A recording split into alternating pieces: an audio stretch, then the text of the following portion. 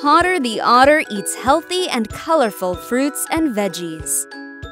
Climb a tree to pick a plum. To grow eggplants, they need direct sun. All year, blueberries are in constant supply. Purple or blue fruit and veggies are at the market to buy. Plums give you healthy eyes. They are full of vitamin A.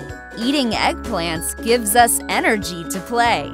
Everyone knows blueberries are a superfood. Purple or blue food puts Potter in a good mood.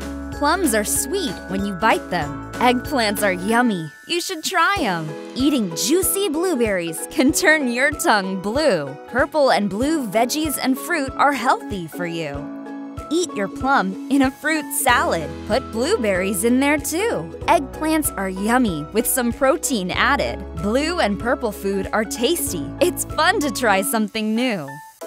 For more information about healthy eating, visit www.pottertheotter.com. Your child can learn more about healthy eating in Potter the Otter's Market Adventure.